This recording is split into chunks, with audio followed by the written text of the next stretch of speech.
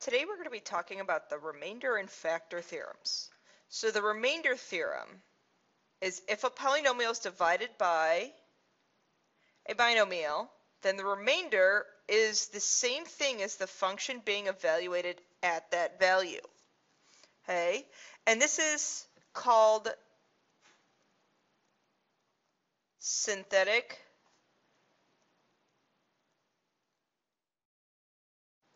substitution. Okay, so I'm, I'm making sure that it's x minus 3. I'm evaluating the function at 3, and I'm doing synthetic division to get that, so I know that p of 3 is equal to 7. So the factor theorem says, remember, this is the remainder. So if that function is evaluated at our at this at this value of 3 and our remainder ends up being 0, remainder 0, then we know that x minus r is a factor. Okay, so let's use synthetic substitution to evaluate f of 6. So we do 6. I have a 2. I don't have an x to the third term, so I need to bring down the 0. I need to put a 0 there. 5, 8, and negative 7. So I bring down the 2. 2 times 6 is 12. I bring, I add 12 times 6 is 72. I add those two to get 67. Then I multiply 67 times 6 to get 410. I'm sorry, 402.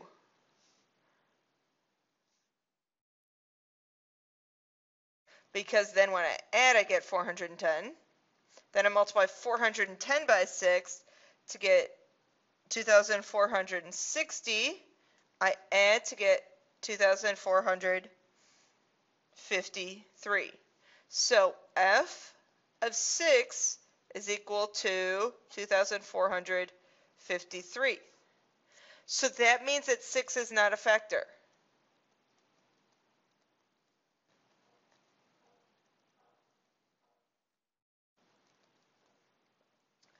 Okay, direct substitution, what we do is we would just evaluate that function at 6. So we would do 2 times 6 to the fourth minus 5 times 6 squared plus 8 times 6 minus 7. And when you go through all that math, you end up getting the same thing. Okay, so synthetic substitution is just a short way of evaluating a function. Okay, determine whether x minus 3 is a factor of that polynomial, then find the remaining factors. Okay, so I put, I go through my synthetic substitution or my synthetic division to determine whether or not it's a factor. Put my coefficients down. I don't need any placeholders. I just did a quick check of that. Bring down the 1, 3, 7, 21. That's going to be 6, 18. Remember, this last number is the factor, or the remainder. So yes, it is a factor because our remainder ended up being 0. So remember, we started with an x cubed here. We reduced our exponent by 1, so this is x squared plus 7x plus 6.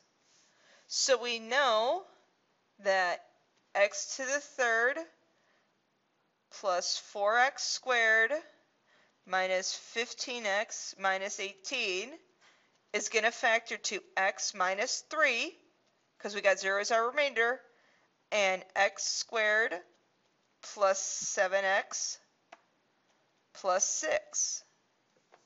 Now, look and see, can this trinomial factor even more? This can factor even more. This can factor to x plus 6, x plus 1. Okay, so we were able to factor this higher degree polynomial into something that's a little bit more manageable. Okay, find values of k so that the remainder is 5. So a few different ways that you could do this. I thought a synthetic substitution right away.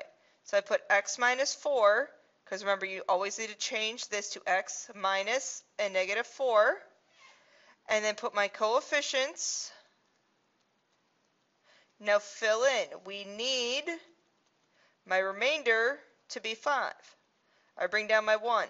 4 Negative 4 times 1 is negative 4. Remember, we add those two numbers, so that's k minus 4. Then I take and I multiply k minus 4 times by a negative 4. So set up your equation. We know negative 3 plus the negative 4k plus 16 has to equal 5. So negative 4k plus 13 has got to equal 5. Negative 4k has got to equal negative 8. k, therefore, has got to equal a positive 2. Another way you could have done this is using the idea that our function evaluated at negative 4 has to equal 5. So this function evaluated at negative 4. So negative 4 squared plus k times by negative 4 minus 3 is got to equal 5. So 16 minus 4k minus 3 is got to equal 5. This math looks super familiar.